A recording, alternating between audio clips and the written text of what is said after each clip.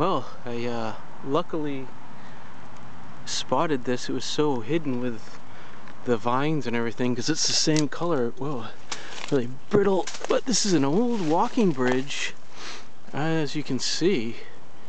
Just dilapidated and collapsed. I don't know where it went. Maybe back in the day, sometime they had a little um, island out there in the wetland. Might really back up and show more of it.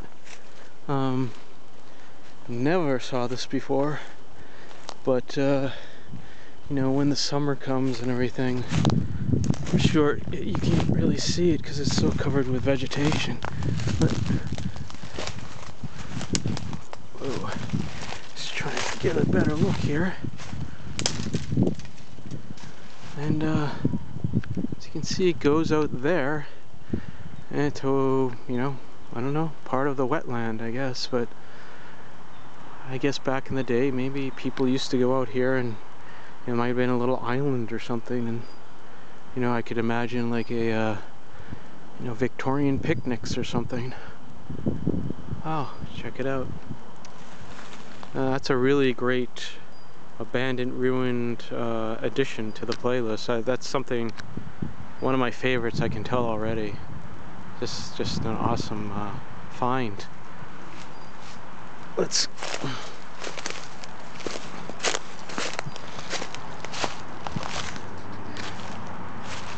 Although this fence doesn't look as old as the bridge. It's curious to what the history of this little, uh, you know, footbridge. And it's kind of a it looks very pleasant. It looks like it was a, a very pleasant kind of, you know, like I said, maybe has a little bit of a Victorian. I can't really get this side down, and the sun is coming in, but. Uh,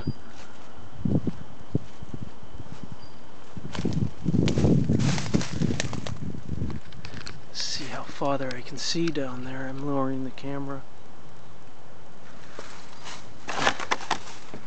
if I could get in here. Or it's too not too smart of me to go in here. But I'm gonna go in here. I go right here. I suppose I could crawl down there and try to, uh, you know, but not today. Well, there you go.